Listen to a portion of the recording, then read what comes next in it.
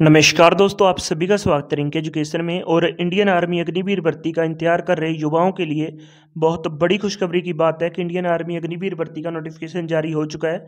अग्निवीर भर्ती आ चुकी है और जिनका भर्ती पाने का सपना है, वो पूरा होने जा रहा है। तो बहुत सारे ए आर ओ की द्वारा जो official website join Indian army dot N I C dot in पर अपडेट किए जा रहे हैं। आज हम बात करेंगे A R O merit A R O merit UP के जो अंडर आने वाला एक ए आर ओ है। ए आर ओ मेरिट के बारे में बहुत सारी जानकारी हैं अपडेट्स हैं, बहुत सारी डिस्कस करेंगे और ए आर ओ मेरिट की भर्ती के बारे में जानेंगे। सबसे पहले हम देख लेते हैं कि फॉर्म कब से लेकर कब तक भरे जाएँगे। तो तेरह फरवरी से लेकर बाईस मार्च तक ये फॉर्म भरे जाएँगे। तो इस वीडियो को शुरू से लेकर एंड तक ज़रूर देखें एक बार। अगर आप किसी भी पार्ट को मिस करते हैं इस वीडियो के तो आप बहुत सारी जानकारियों को मिस कर देंगे, जिनका खमियाजा आपको आगे चलकर भर्ती में देखने को मिल सकता है। अगर आप इस वीडियो को शुरू से लेकर एंड तक देख लेंगे तो आपको आगे चलकर इस भर्ती में कोई भी समस्या नहीं आने वाली, क्योंकि आज आपके जितने भी मन में प्रश्न हैं, उन सब का आंसर मिलने वाला है, चाहे वो किसी भी प्रकार के प्रश्न हो फ़िज़िकल से लेकर हों एग्ज़ाम से लेकर हों, किसी डॉक्यूमेंट से लेकर हों हाइट से लेकर हों चेस्ट से लेकर हों, जितने भी पॉइंट हैं, भर्ती से लेकर, वो सारे क्लियर होने वाले हैं। बस आप इस वीडियो को शुरू से लेकर एंड तक ज़रूर देखें। तो जो फॉर्म है, वो तेरह फरवरी से भरे जाएँगे, बाईस मार्च तक ये फॉर्म भरे जाएँगे, बाईस अप्रैल को आपका एग्ज़ाम होने जाना, जाने वाला है। बाई तेरह फरवरी से आपके फॉर्म भरने शुरू हो जाएँगे, बाईस मार्च तक ये फॉर्म भरे जाएँगे, बाईस अप्रैल को आपका एग्ज़ाम होने जा रहा है। तो सबसे पहले हम एलिजिबिलिटी क्राइटेरिया को देखते हैं, फिर आगे चलकर हम और चीज़ों को डिस्कस अब हम बात करते हैं एलिजिबिलिटी क्राइटेरिया की। 2024 में अग्निवीर भर्ती के नए एलिजिबिलिटी क्राइटेरिया की बात करें तो सबसे पहले हम बात करेंगे जो कि अग्निवीर जीडी की मीन्स की अग्निवीर जनरल ड्यूटी की, अग्निवीर जीडी के लिए एलिजिबिलिटी क्राइटेरिया में अगर हम एजुकेशन की बात करें कि कौन कौन अप्लाई कर सकता है, क्या एजुकेशन क्वालिफिकेशन होनी चाहिए अग्निवीर जीडी के लिए अप्लाई करने के लिए। कंप्लीट इस वीडियो को ज़रूर देखें। बहुत सारी नई इन्फॉर्मेशन मिलने वाली हैं जिनकी जानकारी आपको पहले से नहीं थी। और अगर आप इस वीडियो को पूरा नहीं देखते हैं तो बहुत सारा खमियाजा आपको भुगतना पड़ सकता है अग्निवीर भर्ती को लेकर। तो अग्रिवीर जीडी की हम बात करें तो क्लास टेंथ में पैंतालीस परसेंट आपके जो एग्रीगेट मार्क्स होने चाहिए और ईच सब्जेक्ट में आपके तैंतीस परसेंट होने चाहिए। मीन्स कि अग्निवीर जीडी के लिए अगर आप अप्लाई करना चाहते हैं तो दसवीं में आपके एग्रीगेट पैंतालीस परसेंट मार्क्स होने चाहिए और हर सब्जेक्ट में कम से कम तैंतीस प्रतिशत मार्क्स होने चाहिए। एज लिमिट की बात करें तो साढ़े सत्रह साल से इक्कीस साल तक एज लिमिट होनी चाहिए अगर आप अग्निवीर जीडी के लिए अप्लाई करना चाहते हैं। और उसके बाद हम बात करें अग्निवीर टेक्निकल के लिए। अग्निवीर टेक्निकल के लिए जो क्वालिफिकेशन है, उसको तीन पार्ट में डिवाइड कर दिया गया मीन्स कि अगर आपके पास ये है तो ठीक है। अगर आपके पास ये क्वालिफिकेशन नहीं है तो ये होनी चाहिए। अगर आपके पास ये नहीं है तो आपके पास ये होनी चाहिए। मीन्स कि हम इस वीडियो में हम तीनों क्वालिफिकेशनों को डिस्कस करेंगे। बारहवीं अग्निवीर टेक्निकल के लिए अप्लाई करने के लिए आप बारहवीं पास होने चाहिए। और बारहवीं पास आप साइंस के साथ होने चाहिए। मीन्स कि आपके पास जो सब्जेक्ट होने चाहिए, वो फिजिक्स, केमिस्ट्री, मैथ और इंग्लिश होने चाहिए और कम से कम फिफ्टी परसेंट मार्क्स एग्रीगेट होने चाहिए। मीन्स कि पूरी बारहवीं में आपके पास पचास परसेंट अंक होने चाहिए। उसके बाद हर सब्जेक्ट में कम से कम चालीस प्रतिशत अंक होने चाहिए, जितने भी आपके पास बारहवीं में सब्जेक्ट हैं उसमें कम से कम चालीस प्रतिशत अंक हर सब्जेक्ट में होने चाहिए। एज लिमिट वही है, साढ़े सत्रह साल से इक्कीस साल। अगर आपके पास अग्निवीर टेक्निकल के लिए ऊपरली क्वालिफिकेशन नहीं है तो आपके पास दूसरी क्वालिफिकेशन होनी चाहिए मीन्स की सेकंड नंबर की। बारहवीं पास होने चाहिए आप, और बारहवीं में आपके पास science physics chemistry math English होनी चाहिए। बट आपके पचास परसेंट या चालीस प्रतिशत वाली शर्त आप पूरी नहीं करते तो आपके पास एक साल का आईटीआई डिप्लोमा होना चाहिए। अगर आपके पास एक साल का आईटीआई डिप्लोमा है, और आप बारहवीं पास हो साइंस से फिजिक्स केमिस्ट्री मैथ है आपके पास, और अंकों की कोई शर्त नहीं है फिर। आपके पास आई डिप्लोमा होना चाहिए, चाहे आपके तैंतीस प्रतिशत अंक हों, तब भी आप अप्लाई कर सकते हैं अग्निवीर टेक्निकल के लिए, अगर आपके पास आई डिप्लोमा है। अगर आपके पास नहीं आई डिप्लोमा तो आपके पास पचास परसेंट एग्रीगेट मार्क्स होने चाहिए, चालीस परसेंट जो ई सब्जेक्ट में होने चाहिए साइंस विद साइंस आपकी बारहवीं पास होनी चाहिए फिजिक्स केमिस्ट्री मैथ आपके पास होना चाहिए। अब हम बात करते हैं तीसरी क्वालिफिकेशन की। अगर आपके पास ये भी नहीं है, ये भी नहीं है। मीन्स कि आप आपके पास बारहवीं में, आपके पास बारहवीं में साइंस नहीं है। आपके पास बारहवीं में नॉन मेडिकल नहीं है। तब भी आप आर्मी टेक्निकल की भर्ती देख सकते हैं। अगर आपके पास बारहवीं में नॉन मेडिकल नहीं है, अगर आपने बारहवीं क्लास साइंस से पास नहीं की है, तब भी आप जो इसकी है जो भर्ती देख सकते हैं आर्मी टेक्निकल की, ये बहुत कम अभ्यर्थियों को पता होगा। बस आपने दसवीं पास की होनी चाहिए और कम से कम पचास प्रतिशत एग्रीगेट मार्क्स होने चाहिए और चालीस प्रतिशत अंक हैं, जो चालीस प्रतिशत अंक हैं, वो हर सब्जेक्ट में होने चाहिए आपकी। हर सब्जेक्ट का मायना कि इंग्लिश मैथ और साइंस में कम से कम चालीस प्रतिशत अंक होनी चाहिए। मैं दसवीं की बात कर रहा हूँ, मैं दोबारा फिर बताना चाहूँगा। और पचास प्रतिशत अंक आपके दसवीं में एग्रीगेट होने चाहिए। बारहवीं की तो यहाँ पे बात हो ही नहीं रही, आर्मी टेक्निकल की भर्ती के लिए। बस आपके साथ क्या होनी चाहिए? दसवीं पास होने चाहिए आप और दो साल का आईटीआई का डिप्लोमा होना चाहिए। अगर आपके पास दो साल का आई का डिप्लोमा है और दसवीं पास है, बारहवीं आपने नॉन मेडिकल से नहीं की, आपने आर्ट्स से की है या नहीं की, तब भी आप आर्मी टेक्निकल की भर्ती देख सकते हैं। और ऐसी हम और बहुत सारी चीज़ों को डिस्कस करेंगे, बस आप इस वीडियो को शुरू से लेकर एंड तक ज़रूर देखें। अगर हम बात करें क्लर्क की तो क्लर्क के लिए कौन कौन अप्लाई कर सकता है? आर्मी टेक्निकल के लिए भी एज साढ़े सत्रह साल से इक्कीस साल है। और अगर अगर हम बात करें क्लर्क के लिए क्लर्क को अलग अलग नाम से जाना जाता है मीन्स की ऑफ़िस असिस्टेंट ठीक है? स्टोर कीपर टेक्निकल क्लर्क इसी नाम से जाना जाता है। तो अगर आप क्लर्क की भर्ती देखना चाहते हैं क्लर्क की भर्ती के लिए अप्लाई करना चाहते हैं तो आपने बारहवीं पास आपका होना ज़रूरी है। बारहवीं पास होने चाहिए आप, और आपके टोटल साठ प्रतिशत अंक होने चाहिए एग्रीगेट बारहवीं में साठ प्रतिशत अंक होने चाहिए एग्रीगेट आपने बारहवीं किसी भी ट्रेड से, किसी भी स्ट्रीम से की हो चाहे वो आर्ट्स से हो, चाहे वो कॉमर्स से हो, चाहे वो साइंस से हो मीन्स की नॉन मेडिकल मेडिकल या आर्ट्स से हो। आपके पास बस साठ प्रतिशत अंक होने चाहिए, पचास परसेंट आपके जो ई सब्जेक्ट में होने चाहिए और साढ़े सत्रह साल से लेकर इक्कीस साल तक की उम्र होनी चाहिए, ठीक है? अगर हम बात करें जो अग्निवीर ट्रेड्समैन टेंथ पास के लिए तो दसवीं पास होनी चाहिए सिंपल सिंपल आपकी टेंथ पास होनी चाहिए, साढ़े सत्रह साल से इक्कीस साल की उम्र होनी चाहिए। अगर हम अग्निवीर ट्रेड्समैन एट्थ पास की बात करें तो आपकी आठवीं पास होनी चाहिए और साढ़े सत्रह साल से इक्कीस साल उम्र होनी चाहिए बस। अगर हम बात करें आगे चलकर बेड की हाइट की ये 2024 की नए नोटिफिकेशन के रूल हैं। बहुत सारी चेंजेस भी हुई हैं आगे चलकर हम उन चेंजेस को भी देखेंगे। तो इस वीडियो को शुरू से लेकर एंड तक ज़रूर देखें। आ, इस वीडियो को स्किप ना करें। तो हाइट की बात करें तो क्योंकि आपके दो तीन मिनट इस वीडियो को देने पे आप बहुत सारा फ़ायदा हो सकता है आपका। मीन्स कि आपको जो आगे चलकर आप भर्ती में जो खमियाजे देखेंगे, वो नहीं भुगतने पड़ेंगे। अगर आप इस वीडियो को शुरू से लेकर एंड तक देख लेते हैं। अग्निवीर अगर हम हाइट की बात करें तो अग्निवीर जीडी के लिए जो हाइट है, वो 170 सेंटीमीटर है। अग्निवीर टेक्निकल के लिए जो हाइट है, वो 170 सेंटीमीटर है। Agniveer office assistant store keeper clerk के लिए जो हाइट है, वो एक सौ बासठ सेंटीमीटर है। अग्निवीर ट्रेड्समैन टेंथ क्लास के लिए जो हाइट है, वो 170 सेंटीमीटर है। अग्निवीर ट्रेड्समैन एट्थ पास के लिए जो हाइट है, वो 170 सेंटीमीटर है। अगर हम चेस्ट की बात करें तो 77 सेंटीमीटर आपकी चेस्ट होनी चाहिए सतर सेंटीमीटर की चेस्ट होनी चाहिए, प्लस पाँच सेंटीमीटर का फलाव होना ज़रूरी है। प्लस प्लस पाँच सेंटीमीटर का फलाव होना चाहिए सतर सेंटीमीटर की चेस्ट, ठीक है? हाइट आपको क्लियर हो चुकी है।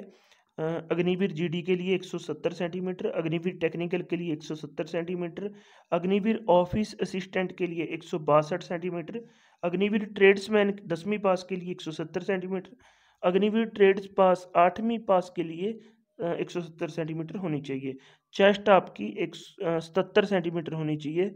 सेवेंटी सेवन सेंटीमीटर आपकी चेस्ट होनी चाहिए, सत्तर सेंटीमीटर। प्लस उसमें आप ऐड कर लीजिए पाँच सेंटीमीटर का फलाव मीन्स की फलाव के साथ पाँच सेंटीमीटर और होनी चाहिए, मीन्स की एट्टी टू सेंटीमीटर होनी चाहिए। कंप्लीट देखिए इस वीडियो को, बहुत सारी जो इंटरेस्टिंग जो चीज़ें हैं, वो मैं आपके सामने लेके आ रहा हूँ। जिन जो नए चेंजेस हुए हैं 2024 की अग्निवीर भर्ती में, वो आगे की स्लाइड में दिए गए हैं।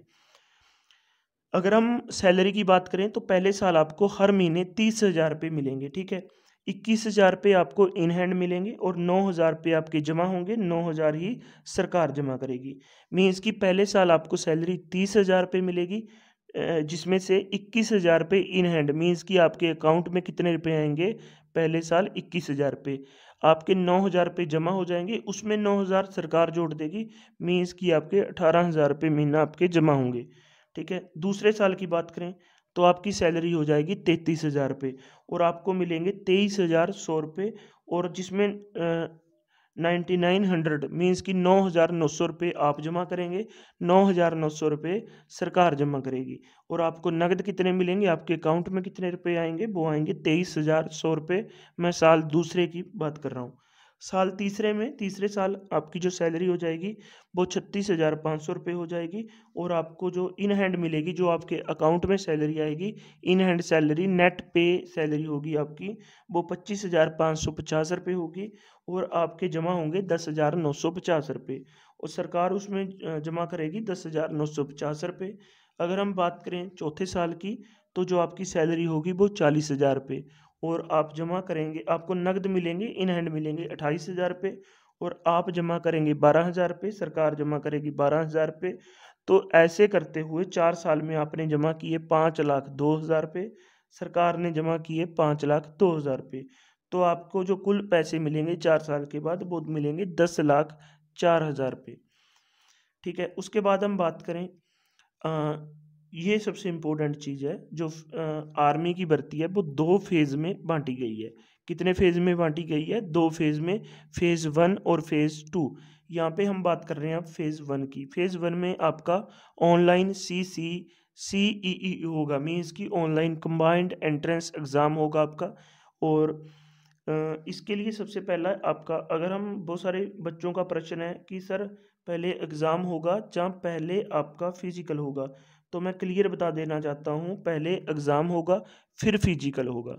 और अगर बहुत सारे कैंडिडेट जो क्लर्क की भर्ती के लिए अप्लाई करना चाहते हैं, वो पूछेंगे, सर, पहले टाइपिंग टेस्ट होगी जहाँ फ़िज़िकल होगा, जहाँ एग्ज़ाम होगा? पहले आपका एग्ज़ाम होगा, फिर आपका टाइपिंग टेस्ट होगा, फिर फ़िज़िकल होगा। अगर आप टाइपिंग टेस्ट क्लियर करते हैं, तब फ़िज़िकल जाकर होगा।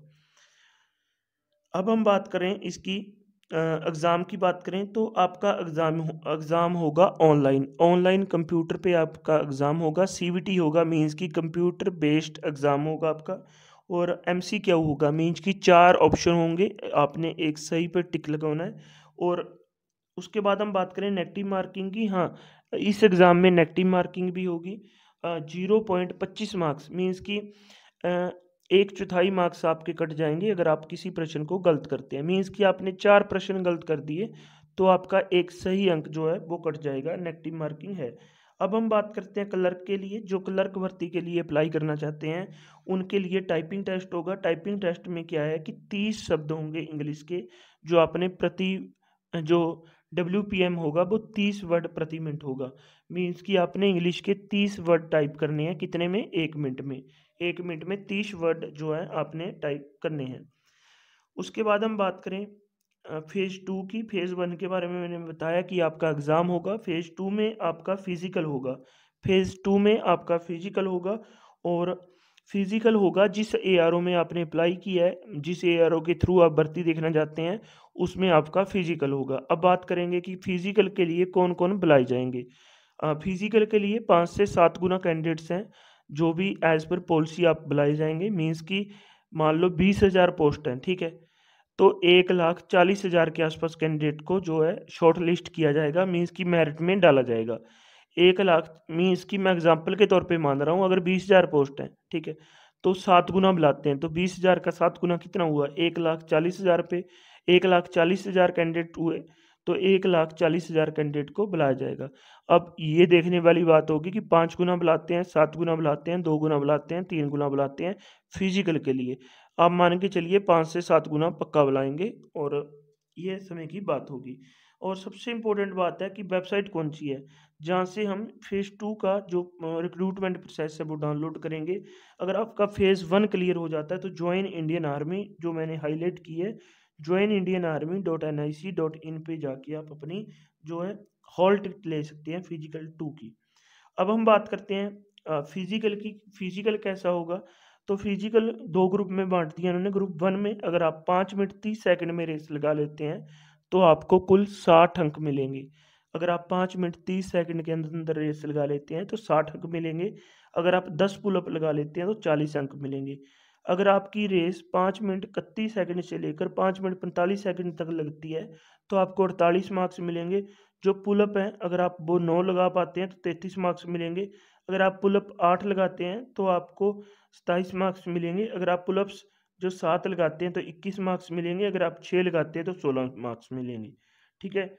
ये सारी बातें क्लियर हो चुकी हैं मेरे हिसाब से।